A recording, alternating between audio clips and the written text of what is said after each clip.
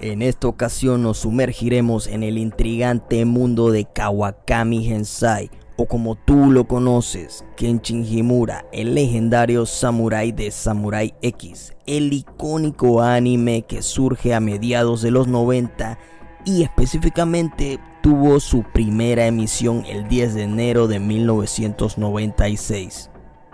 El anime cuenta la historia de un samurái vagabundo cuya cicatriz en forma de cruz encierra grandes tormentos de una época agitada. El manga fue publicado por primera vez en la revista semanal Shonen Jump en 1994. En julio 7 del 2023 se estrenó un reboot del anime. Hoy te cuento parte de la vida y datos de Kawakami Hensai, personaje histórico real en el que se basa Kenshin Himura, así que mira el video hasta el final si quieres enterarte de todo.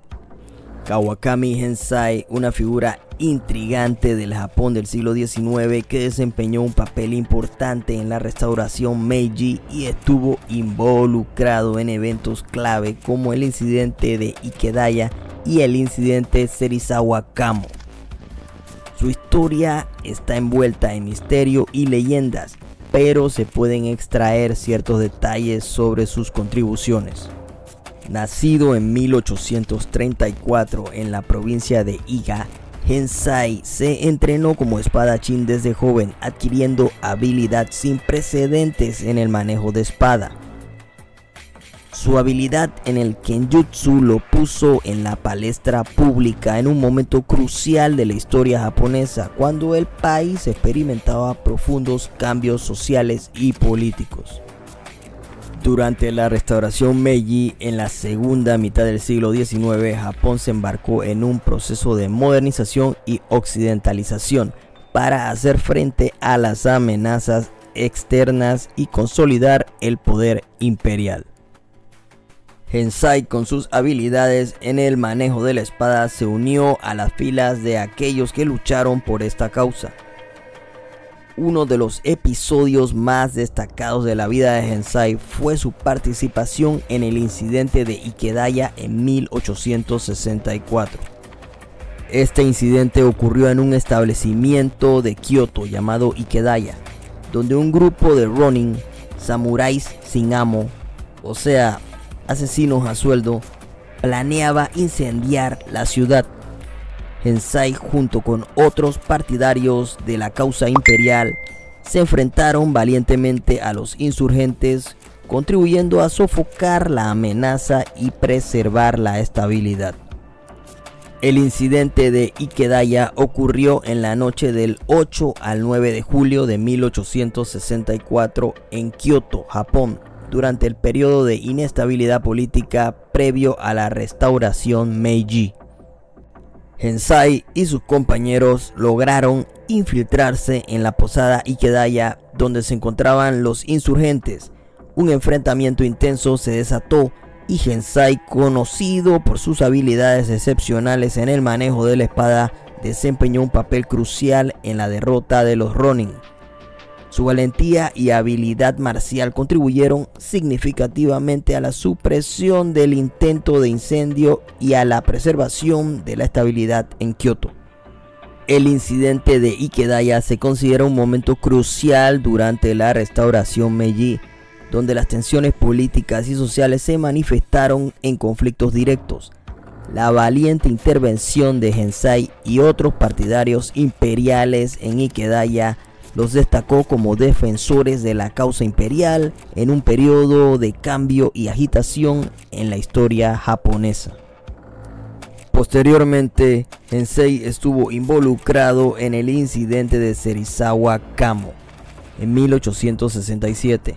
Este conflicto sucede por luchas de poder dentro del shogunato Tokugawa. Serizawa Kamo y su grupo de Shinsengumi una fuerza policial especial se enfrentaron a Hensei y otros partidarios imperiales. En este choque, Hensei demostró su habilidad y valentía, aunque la situación política complicada lo llevó a enfrentar desafíos constantes.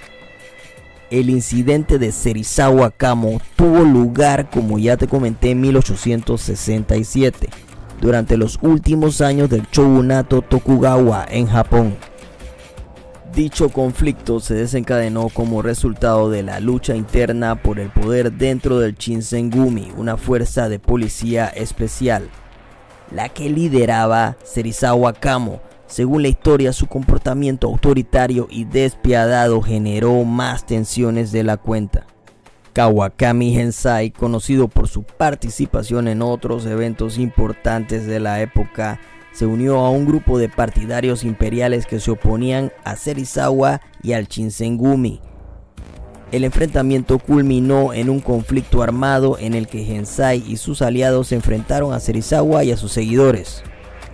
En este encuentro, Hensai demostró una vez más sus habilidades marciales destacadas aunque el resultado exacto fue un incidente muy difuso debido a la complejidad de las luchas internas y las rivalidades políticas, se sabe que Hensai y sus compañeros lograron desafiar la autoridad de Serizawa. El incidente Serizawa Kamo refleja las luchas y la inestabilidad que prevalecían en Japón durante ese tiempo. La transición hacia la restauración Meiji estaba en marcha y estos incidentes ilustran cómo tensiones y rivalidades surgieron entre diferentes facciones mientras Japón se encaminaba hacia una transformación política y social muy potente. Es importante señalar que la vida de Hensai también estaba envuelta en leyendas y mitos. Algunas historias sugieren que era un asesino a sueldo, mientras que otras describen su participación en duelos mortales, algo característico de aquella época. Estos relatos mitificados a menudo complican la tarea de separar la realidad de la ficción en la vida de Hensai. La restauración Meiji trajo consigo cambios drásticos en la sociedad japonesa y Gensai con sus habilidades y su lealtad a la causa imperial se convirtió en un símbolo de esa era y de los grandes cambios. A medida que el país avanzaba hacia la modernización, el papel de los antiguos guerreros como Gensai se volvía cada vez más ambiguo. La era Meiji en Japón abarcó desde 1868 hasta 1912 y fue un periodo de transformación radical que marcó la transición de un sistema feudal a una nación moderna e industrializada. La restauración Meiji fue el evento clave que inauguró esta era y que puso fin al régimen del shogunato Tokugawa. El shogunato Tokugawa gobernó Japón desde principios del siglo XVII y se enfrentó a desafíos internos, además de problemas externos con riesgos de colonización extranjera. La restauración Meiji fue liderada por un grupo de nobles y líderes militares que abogaban por restaurar el poder del emperador y modernizar la nación para resistir las influencias occidentales. La era Meiji presenció cambios drásticos en varios aspectos y estos son los siguientes. 1. Restauración imperial. Se restauró el poder al emperador Meiji marcando el regreso de Japón a un sistema imperial centralizado. 2. Abolición del feudalismo. Se abolió el sistema feudal que había existido durante siglos y se introdujo una estructura más moderna de gobierno centralizado. 3. Industrialización. Japón adoptó rápidamente tecnologías y prácticas industriales occidentales, modernizando su economía y estableciendo una base para el crecimiento económico. 4. Modernización del ejército. Se implementaron reformas militares para fortalecer el ejército japonés, lo que más tarde contribuyó a su éxito en conflictos regionales e internacionales. 5. Educación universal. Se introdujo un sistema educativo moderno y universal para mejorar la alfabetización y proporcionar habilidades necesarias para la industrialización. 6.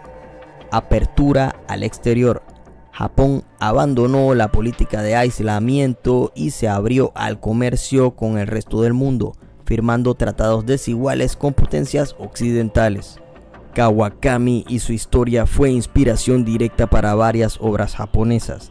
Hasta el día de hoy, el personaje ficticio basado en Hensai que más resalta es Kenshin Himura, del anime Samurai X, un samurái vagabundo en busca de redención por tener un pasado oscuro en el que lo llamaban el destajador.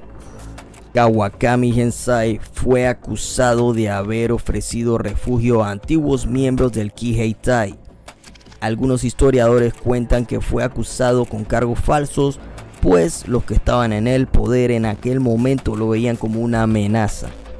El Kiheitai fue una milicia irregular que desempeñó un papel durante los últimos años del shogunato Tokugawa en Japón y el periodo de restauración Meiji.